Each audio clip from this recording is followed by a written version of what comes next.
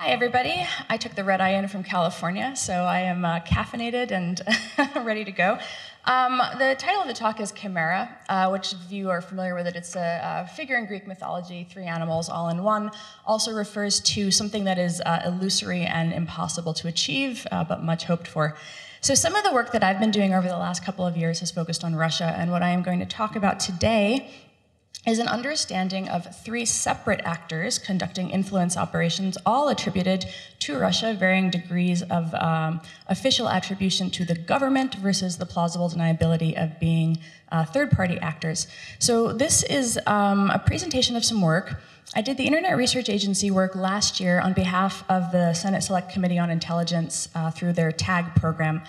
Um, the GRU work was conducted similarly under that rubric. We put it out on Tuesday, which was the night before the impeachment hearing started. So I'm assuming that nobody saw it. Uh, and then finally, uh, Wagner Group, which is um, going to discuss some operations attributed to Yevgeny Prigozhin, various entities uh, attributed to Prigozhin. Wagner is his paramilitary organization. For those who don't know, it primarily is uh, physical kinetic operations, not influence operations, but we've been observing some really interesting evolving tactics. So I want to talk about how we see these three entities working together uh, or not working together in a coordinated sense, but working together temporally, topically, uh, to advance geopolitical and other interests uh, attributed to the Russian state. So many of you have seen Internet Research Agency stuff before, so I'm just going to go over some of the real highlights that defined that operation uh, particularly how we think about it in terms of a tactical playbook. And what I want to do is I want to compare and contrast the tactical playbook that has now come to be synonymous with the Russian playbook in a lot of press coverage, uh, and to talk about what we see, what we thought the Russian playbook was when the Internet Research Agency was our primary uh, data source, and then how our belief uh, in that has changed and evolved given what we've now seen with GRU and the Prigozhin operation. So if we were to summarize the Internet Research Agency's operative um, framework in one slide, I think I would say memetic propaganda uh, and social manipulation. So the operation was carried out, it was a very social first operation on social platforms, uh, presented directly to people. So the kind of false peer to peer Russian trolls communicating with uh, and uh, American audiences. Um, the idea of memetic propaganda I'm going to talk a little bit about narrative propaganda as the other side of this uh, kind of divergent pathway. But when I talk about memetic propaganda, what I'm referring to is uh, memes, which are units of cultural capital in the academic definition of the term. And what it means is content produced really with remix culture in mind. Uh, content produced really intended to be picked up and reshared and spread through communities virally. That is, in fact, the central point of that kind of content. So this is uh, an example. I would say one of the things that the Internet Research Agency did is uh, phenomenally effective audience segmentation. So the key to a successful social operation is to know who you're targeting. This is a meme from an Instagram account called Angry Eagle. Uh, this is um, I think, repurposed from Turning Point USA, but they repurposed actually a lot of Turning Point USA content. And what they're doing here is they're really getting at the kind of younger, far right conservative irony culture. Their pages that were targeting the right for older audiences was much more freedom and American flags and Ronald Reagan. So even within the idea of segmenting for the American right, there's a degree of micro segmentation. We see that with the other communities that they target too. Um, a lot of the, the content targeting the African American community had some mainstream stuff, but then it also went down into Egyptology and a couple of um, more niche uh, topics of interest to the African American community. So when we look at this content, one of the things that we were doing uh, for the Senate was working on understanding to what extent they created versus repurposed. This is an example. Um, I know the it's kind of hard to see, but up there, November 7th, 2014, a real person posted that meme to a message board, and then it appears in 2016 on two different uh, Internet Research Agency pages, but the oldest place that we were able to trace it back to was actually that message board in 2014. So they're going and they're grabbing stuff, and then they're bringing it up at times when it is uh, narratively appropriate for the American conversation we look at the way that they evolve their accounts. So they're constantly checking to see if they're succeeding. And when the account topic is not hitting its stride with an audience, they change it. So the page Army of Jesus that everybody talks about because it has the Jesus fighting Hillary Clinton actually started off as an Instagram account uh, that posted Miss Piggy and Kermit the Frog memes. When that did not really like strike it with the American uh, youth, they moved to Simpsons memes. Um, and then following that, they really hit their stride a full year later um, when they turned it into the Jesus page, and then it takes off from there. So you see this idea of a social first operation, the same way you would run a social media marketing agency, where you are constantly evolving your content and tailoring it over time. Uh, we see sophisticated, significant engagement on some of the content, so over 700,000 on that one, and then the, uh, the Yosemite Sam in the corner there uh, close to a million engagements, 986,000. What they then do is when they have their high engaging content, they repurpose it several times. You'll see the same memes repeated across pages. They'll just rebrand them uh, with a new logo. And of course, the point of sticking the logo on there is so that anybody who sees that meme after it's been virally shared can trace it back to the source and follow the page or account. So it's almost a calling card. The purpose of it is to, uh, to assist in audience acquisition uh, free of having to, to buy and run ads. Thank you so much. Um, so what do they do with this? They have all of their accounts, and then they begin to interlink them. So what we see with the interlinking is this is one page, uh, Black Matters US. This page in particular goes and they create content across every social platform. The thing on the right there is actually a sticker pack that was um, just something you could download uh, in the App Store. And so they make all of this stuff. They create an, like ecosystems of content for each of their micro brands or pages, and then they interlink them. And so what we have here is just crawling the network, looking at what account mentioned what other account.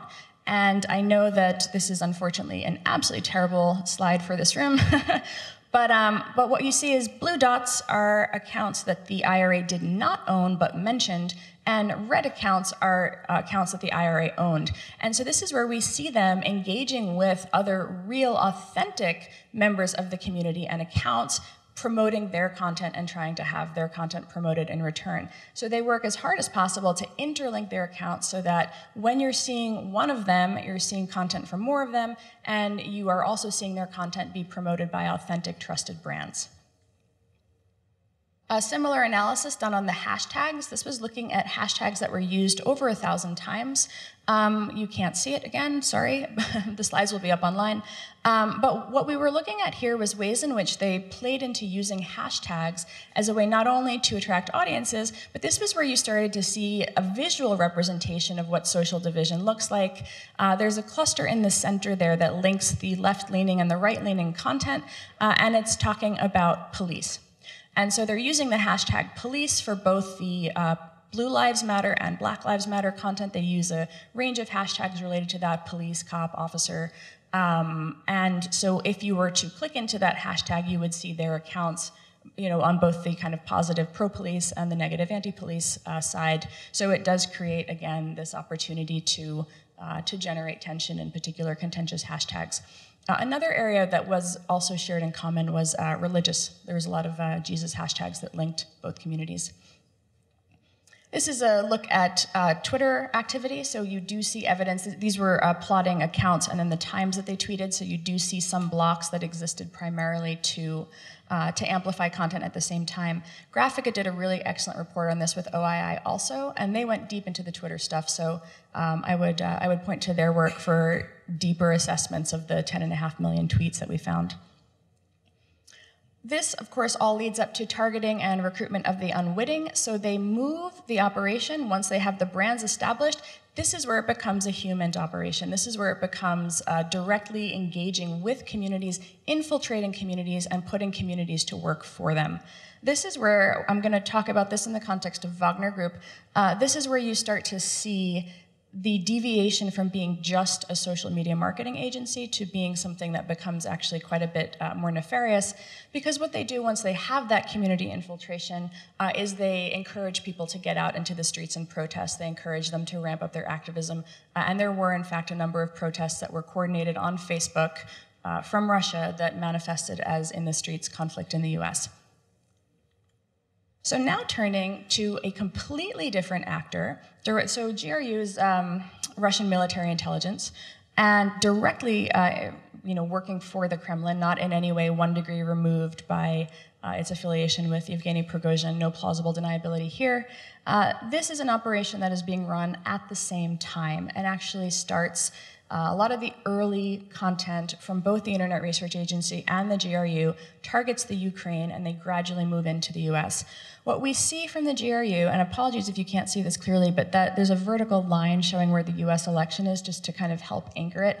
Uh, there are about 28 pages. So uh, Facebook did the attribution. Facebook provided to the Senate Intelligence Committee a folder containing 28 pages worth of uh, Facebook pages worth of data, uh, which we treated as the basis for an open source intelligence investigation to try to understand how these operations were carried out, where they appeared off Facebook, and what the playbook they ran was. So this is happening at the same time as the IRA. And you see the GRU make a couple of like weak forays into memes. Um, interestingly, you see a much more geopolitically aligned cluster, a geopolitically oriented cluster of operations here. So not so much societal divisions, but much more about persuasion, much more about not dividing uh, people, but just persuading them towards a state-sanctioned point of view. So the social operation uh, I would classify as a failure. And what I mean by that is at the same time that the IRA is generating hundreds of millions of engagements, uh, hundreds of thousands of likes and shares on its content, growing these pages to audiences of 500,000 uh, for the, the more successful ones, what you see is the GRU largely flopping. So the total engagement, as in all likes, shares, comments, and um, basically likes, shares, comments, uh, is over there in total engagement, oh, reactions, the reactG. Um, and then over there, you have the name of the, the post. So the uh, post that the, uh, sorry, the page that they spent the most time on was Inside Syria Media Center, which I'm going to focus a little bit on. Um, News Agency was a fake news agency targeting Montenegro. Um, uh, Southern Front, I'm going to touch on a little bit too. You see Fancy Bears in there. The two that touched on race were Michael Brown Memorial and Baltimore is Everywhere. So, the same time that the IRA is running these remarkably successful pages targeting the black community, the GRU is putting out feelers, but it doesn't lift. What they do manage to achieve is an update of the old KGB tactic of narrative laundering. So, in the narrative laundering framework of Russian disinformation, the goal is really uh, to manipulate the media into taking a story, something that they want to have placed and covered, and then to work it through publications of higher and higher degrees of quality. And then by establishing the repetition, the citation chain, uh, the increasing legitimacy of better publications, you can push that narrative into popular awareness and make people, uh, you know, treat it as a, uh, as a, as a valid point of view or a thing that people are talking about. The canonical example of this is Operation Infection and the narrative that was pushed saying that the CIA created AIDS. It took years uh, to actually make that narrative take hold, but what we see now is the update, the digital update for that strategy. So this is the Inside Syria Media Center. If you've ever consumed a small independent media or news site online, you realize that this looks absolutely identical to that. Uh, it has bylines, it has about seven or eight people, different bylines, uh, working for it. They claim to be investigative reporters working in Syria. Um, one of the things we see in addition to the fake publications are fake people who are writing for them. Uh, this is a gentleman by the name of Andrew Kolkovich. He does not appear to exist. Uh, Andrew Kolkovich had bylines on newsland.com, which is a real news site. Uh, he posted on Facebook and Twitter. You start to see, he posted on Quora, um, Medium account, I think, for this one too. What you start to see is they create these front organizations, then they create front personas. The front personas write for one front organization and promote content from another. So, one of the things that we were doing in this process was understanding who the creators were, who the distributors were, and what that network looked like.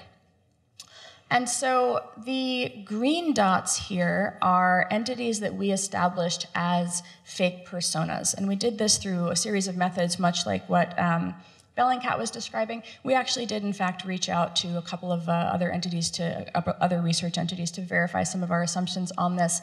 Um, one of the things that's really interesting is that occasionally you'll see a lead, like DFR Lab will have put out a post where they allude to something where they aren't making a concrete attribution, but they're saying something about this looks weird. And one of these accounts, uh, Adomas Abromaitis, uh, they refer to in the context of a weird operation targeting NATO out of Lithuania. We see him come into play via a different direction uh, attributed to some of the GRU content. So we can't say with any real concrete claim that he is in fact attributable to the GRU. We point to adjacencies between these operations. Um, this is where you start to see, this is the, uh, the green dots are the personas, the pink circles are the publications that they write for. So this is where Miriam Al-Hijab and Mehmet Ersoy were both purportedly um, reporters for Inside Syria Media Center. So is Anna Junger, so is Sophie Mangal. Um, none of those people exist, but by virtue of their byline on Inside Syria Media Center and Inside Syria Media Center's thousands of posts, they then pitch real publications uh, and say, hey, I'm a contributing writer and I would like to place my story in your publication. So this is how that narrative laundering uh, takes place. And what you see is some of these publications, I see some people smiling at the high quality publications in there. um, that's where you start to see again that that one degree of legitimacy. Some of these pages, like Veterans Today, uh, do have dedicated readership. You also see interesting responses. Um, the this is the update of the this is the Alice Donovan playbook for anybody who is really into Russian influence operations. Alice Donovan was one of these fake personas uh, who actually plagiarized content from inside Syria Media Center. So they're not always the most careful. Sometimes this like that act of plagiarism got Alice caught by Counterpunch. Uh, and then it turns out actually that the FBI reached out as well and said, uh, we believe that that persona is attributable to Russian intelligence. The Duran's response to that was actually to say, um, there's no possible way this is Russian intelligence. It's probably just a young writer who wants to remain anonymous. Um, in addition to the network of content creators, we see these aligned personas where, again, we don't fully know what they are. We can't make a concrete attribution, but we can tell you that Olga Gromova here does not look like that. That's a stolen photo. All of her photos, in fact, are stolen. We see her go into groups. They also had groups affiliated with some of these pages, and we see her regularly posting uh, strongly Russian government aligned narratives on everything from MH17 to Skripal to other issues. So we can't say, of course, that she is a persona, but we can say that she engages in groups related to these pages that are attributable to the GRU, and we start to see this network of people who socialize the content uh, and try to just kind of keep that narrative um, going in the groups that they're establishing. The other thing that the GRU does that the IRA does not do is the hack and leak operations. So this is the uh, APT28, the Fancy Bear hacks. Uh, and some of the things that we see in the Fancy Bear hacks are discussed in the report. I don't have time to go into it, but if you search for uh, Stanford FSI Internet Observatory, uh, you will find it. Um, we do see that Fancy Bear and, and um, and DC Leaks in particular were also flops on social media. So the real lift of the hack and leak operations comes from the engagement with the journalists. So this is a very distinctive strategy. They are not able to put out their own content on social media and get lift. It's really through WikiLeaks and then through journalists that you start to see pickup in those stories. So it's much more uh, the, the operation is to manipulate and to uh, feed content to the media. Commonalities, we see the creation of personas. Uh, we see tons of attention to Syria between both the GRU and the IRA data set. And this is an area that we are still investigating to try to fully understand. Uh, we, we don't believe that we can, we, we can't assert coordination based on just topical or temporal um, signals. What we say is there is an interesting degree of, uh, of effort that the IRA put into Syria, given that most American audiences do not care about Syria. But there are over a thousand posts related to Syria uh, that echo the themes. The uh, GRU does it narratively. They want to talk about very specific aspects of the Syria conflict. The IRA does it memetically. And if you read the posts that go above these memes on Facebook, you see really persuasive content designed to make Americans feel a particular way. So, not the academic discussion of Syria, but much more you should care about this if you care about refugees, you should care about this if you hate refugees. Um, we see the IRA created pages pretending to be uh, anonymous, so they had a you know a Uranon news clone. Um, and what we see in the GRU data set is actually some interesting stuff that ties it back to cyber Berkut. This is another area that requires further investigation because it, it they, they have this sort of cyber Berkut iconography attributed to some of these uh, one of these pages, uh, South Front, um, they are talking about topics that Cyber cares about, but they're also putting out a bunch of conspiratorial, like 9/11 truther content and things that just doesn't um, align with the more uh, kind of body of literature around Cyber But we do see this appear in the GRU dataset. Uh, and then you have this remarkable, I don't know, the uh, Seth Rich conspiracy theory. I imagine a lot of you are familiar with it. The conspiracy theory is that Russia did not hack the DNC at all. It was actually this man, Seth Rich, who was murdered in DC. Uh, Julian Assange insinuated in an interview that Rich was his source. So here we have again the Internet Research Agency socializing repeatedly on multiple occasions what a great guy uh, Julian Assange is uh, and perpetuating the Seth Rich conspiracy theory. Again, not evidence of coordination, but temporally we do see these interesting links in which the IRA is socializing the propaganda that uh, it attempts to obscure the GRU activity. So that was the old stuff. And now, um, about late October, we, we um, came to do this work, which is, I think, the most up-to-date takedown of Russian, uh, Russian attributable content. Again, this is attributable to Yevgeny Prigozhin, who owns or funds the Internet Research Agency. There is some uh, back and forth about that. Um, Wagner Group, as I mentioned, is the paramilitary organization. There was a line in an article about Africa, which Wagner Group is extremely active in Africa, and a Daily Beast reporter wrote an article and said that somebody was saying that Wagner Group was running an influence operation related to a Libyan to the Libyan election. And we thought that that was very interesting because why would Prigozhin run an influence operation out of Wagner Group when he has the IRA? So our initial thought was that that had been misattributed, in fact, that it was an IRA page. And then we thought, well, we'll go look for the IRA activity in Libya because, you know, why not? Um, so we did, in fact, uh, then begin to do a, a, Dr. Shelby Grossman, one of the people uh, in the Internet Research, uh, sorry, in the um, Internet Observatory, uh, is the person who did a lot of the early findings here. We start to look at, and I apologize, my speaker notes have the translation. I would butcher this, but you see the um, the memetic approach here. So again, this is a really interesting operation because it's attributable to an entire other entity. Um, we took this cluster of Libya pages that we found, we gave it to Facebook, and we said, we have the, the link to Wagner Group came through a dossier center assessment. Um, can you verify or what, what do you think this is? Facebook responded back with this actually appears to tie into several other operations that we are looking at spread out across Africa. So this was actually a really great example of how uh, you know, independent and academic researchers can, in fact, collaborate with the platforms. Um, we see the, again, the memetic content and then we also see, though, at the same time, the creation of multiple uh, front newspapers and media entities. So there is some, um, the idea of like a distinct playbook, it's actually really an evolving playbook, a very blended playbook that is using both the memetic and the narrative, reaching different audiences using the, the, two, uh, the two approaches. Um, what we see here is the, again, Africa is a fascinating organization. It, they were uh, running a, um, a summit of African leaders.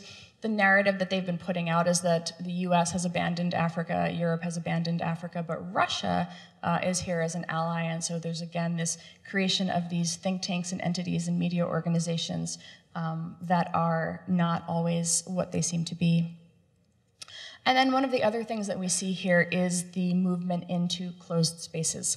So this is WhatsApp and Telegram. So they're running WhatsApp and Telegram channels as well. Um, you can, in fact, click in. You can uh, click into the Telegram channel. It's kind of like a, a, lobby, basically. So this stuff was, you know, viewable online. Uh, and we did go and look to see what kind of activity was was happening in there. And so they're in there and uh, it's sort of like a landing page. You can then be moved into more interesting groups. So it's again that opportunity to establish uh, extremely personal one-on-one contact with communities as well. Um, the most remarkable thing here, and where I think a lot of this is going, is actually the recruiting of, um, of, of Sudanese nationals. So uh, they ran a couple pages out of Sudan and they recruited locals to serve as reporters. So, again, that same IRA approach where they were leaning into the black community, trying to get people to write for them and, uh, and do things for them, uh, you see them actually, it appears, to succeed in this particular area. Um, the interesting thing with some of these accounts is, again, we didn't feel really comfortable releasing a lot of information um, about the people who appeared to be affiliated with the operation. Uh, some of them had studied in Russia. Um, some of them were, um, you know, they they were taking like Facebook lives at Russian craft fairs and things like that. And it's interesting to see these ties and to see how they're um, pulling people from the community and really leveraging like the latest and greatest every new feature every new platform. Um, it is a constantly evolving expanding way to try to uh, execute influence. And um, i want to leave some time for questions. So i guess i would say we are thinking about this now in terms of um, can we really declare that there is a playbook given the expansive evolving uh, constant iterative process that we see here. Uh, we're thinking a lot about what does the 2020 election look like in the US, not to bring everything back to the US, but um, just to say that franchise model is really challenging, it's really problematic because attribution is getting harder and harder uh, particularly as the pages are not managed overseas. Even the transparency features that you would see would look like it was coming from the US. The ads will look like they are coming from the US. So, how do we think about influence operations when they are no longer making the mistakes that they made, and we really are limited to looking at the content, uh, who is putting it out, and the dissemination patterns, anomalous distribution. But it's actually um, now at this point, I think, impossible to do the work solely from the outside perspective. It really does require um, constant checks with other open source researchers, um, constant checks with the platforms, and just ways to share tips and share information so that we can have a better mechanism uh, for detection and mitigation going forward. So, thank you. Dan Ellis, MITRE. Targeting is a key way that many um, attribution activities are conducted. How much chaff do they put in their signal to conceal their real intent and to, to mask what they're really after. Do you mean in terms of the narrative or in terms of. Um... Narrative means how much additional data do they put in there to blend in and. Uh, it takes additional effort, mm-hmm. but it would make attribution much harder. Or, or would it? I, you know, the. Uh the cyber Berkut content with the weird 9/11 stuff in there um, did make us think that maybe it was a misattribution or maybe it wasn't the, maybe you know we are always reliant on the attribution from the platform well the communication back and forth with the platform. It's kind of a collaboratively determined thing. Sometimes the pages are attributed before uh, before i see them. Um, with the with the ira stuff in 2017 they ran a rather extensive campaign mocking the idea of russian trolls. And it was very well done. It's really really excellent content actually. Um, it was you know you know, the meme of a little girl, mommy, there's monsters under my bed. No, it's just the Russians. Um, there's like Hillary Clinton, everybody I don't like is a Russian spy. RT ran this campaign in the uh, in the airports in Russia that was remarkable. That was basically like Mr. Flight, like blame Russia, you know. And so creating this idea that um, it is absolutely ludicrous to think that they would be doing that, and it was them in fact putting out this content. Another thing that they did a lot of was uh, they complained constantly that they were being censored when the platforms moderated them. So as they started to lose assets, as they started to lose pages, you see them putting out this narrative that Facebook is censoring them and that this is all um, a vast conspiracy to censor conservatives because some of those pages were the first to come down. So it's um, really hard, even with that stuff, to trace it back to where you know the chicken or egg problem where did it come from who said it first? We're always trying to figure out the best way to do that.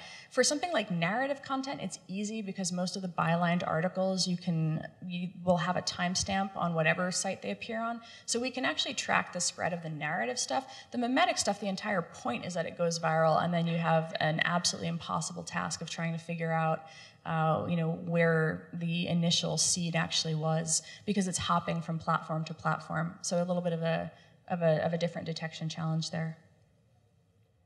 Um, hi, uh, Joe Uchill from Axios. Uh, sorry for not standing. I have a laptop in my lap and I'm fairly clumsy. Um, you you sort of you you mentioned it, but I don't think you ever actually explained what the answer was. Why why use Wagner when you have the IRA? I actually don't know. Um, I don't have any answer to that. I. It wasn't just Wagner. If you read the report, um, the way that that we and Facebook came down on it was a collection of entities attributed to Yevgeny Prigozhin. Uh, there are debates about who owns Wagner, to what extent Wagner exists, whether Wagner is a, you know, a, uh, an unacknowledged um, GRU asset, um, or you know, like a like a black ops unit. Um, there is not a whole lot that is really understood about that, you know, Concord management and that cluster of companies. I think that's where one of the challenges for doing the attribution comes from.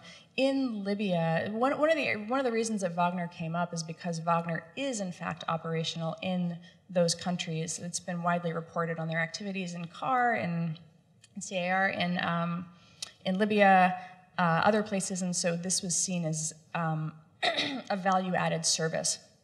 So they were there and they were working on behalf of political parties and entities. They were also there for personal enrichment related to Prigozhin's economic interests. Uh, and so there is a, you know, there's a theory also that IRA may in fact be franchised and, and spread around at some point. That why would you keep all of your assets in one place when you can move to this distributed model? But I don't think anybody really has a strong answer on that. Um, yeah, so it's it's great to do all this reporting on what the adversaries are doing, but there's also the other side of what the audience is doing and how they're retweeting and reamplifying the stuff. I, I, know that the platforms have made some effort to try to tell those people you've been duped. Yeah. Has there been any studies into how receptive they are to that message or whether they just resist it? So there's a couple. Um, with regard to the IRA data set, was attributed by the platforms provided to SSCI and then uh, given to a couple of teams we were not given the comments, so we couldn't see how people were engaging with it. So we could quote the 167 million engagement stat, but we can't tell you what they said back to a given voter suppression meme. And that was a huge gap in understanding, uh, and it is, it is called out very clearly uh, in that report from last year. With the newer stuff, um, similarly, we were not given any comments, but it wasn't really a social first operation. But we did track them around to a bunch of different web forums. And one of the things that was remarkable was the Montenegrins just calling it out. Nope, you're a Kremlin troll. I mean, just right out there. So it was really interesting to see that degree of, um, you know, you're a bullshit artist trying to interfere in our political ecosystem like we're not having it. Uh, so that was, you know, heartening. um, the Wagner stuff, because that was live, did mean that we could see all of the comments um, for the first time. We elected for privacy reasons not to put out many screenshots of them. They ran the gamut. Some of it was, um, you know, the, particularly the pro-Gaddafi. So Gaddafi's son is running for is one of the presidential candidates. Uh, so there are these uh, pages dedicated to Gaddafi, and you do see some people like saying, like, what is this garbage that you're putting up, like extolling the you know majesty of Gaddafi? Like, you didn't live in Libya during that time, clearly. So you do see some of that, but then you also see a lot of people just engaging with the content. Uh, and so I, there haven't, you know, on the interventions front, um, the both Facebook and Twitter did, in response to the Senate uh, hearing request, notify people. it's it's sort of unclear that people were very receptive to that because it was so highly politicized. I mean, our report came out before the Mueller report, and our report was politicized, and that was a you know I think a um, really challenging because it was very hard for people to divorce what had happened from the political outcome that they wanted. Um, and so you got some feedback back like, um, well, who cares if it was the Russians saying that Hillary's awful? I think Hillary's awful too.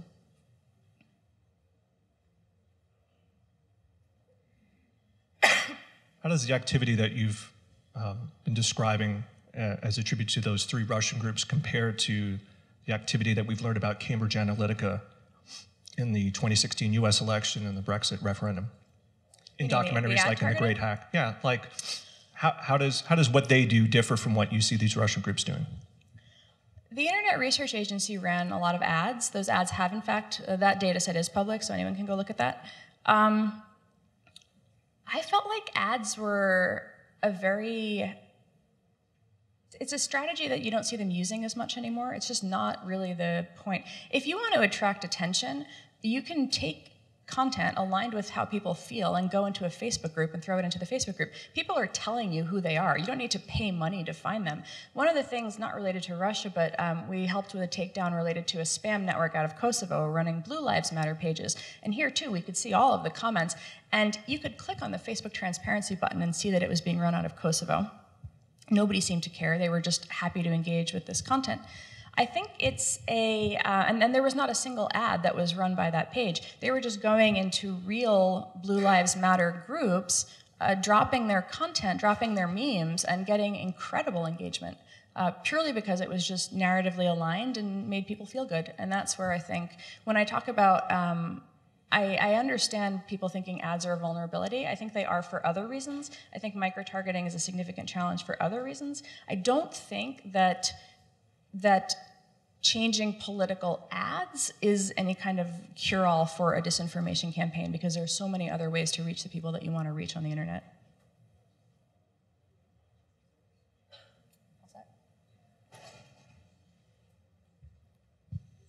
Uh, hi, my name is Zach. I work at Google. Um, I'm curious, do you have any indication the degree to which the uh, locally hired operators you mentioned understand that they're working as part of an information operation for Wagner Group, or do they just think I'm a normal journalist working for a normal journalistic outlet? We really don't have a very good answer for that. So, um, a couple of reporters did reach out. So this was not. This is, as far as I'm concerned, that's not a thing that we are going to do. We're not going to do that kind of ethnographic research. Um, the a few reporters did reach out.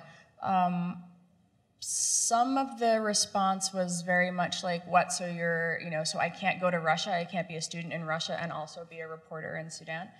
Um, one uh, one reporter, I think, said in her article that um, when she explained what was going on, the person just sort of said "oh shit" and then stopped talking to her. Under unclear if that was an "oh shit" like we got found out or you know, because Facebook didn't tell them why their page came down. Apparently, it just took them, you know took it down and sent a you know I guess the usual form that you get if you're depublished.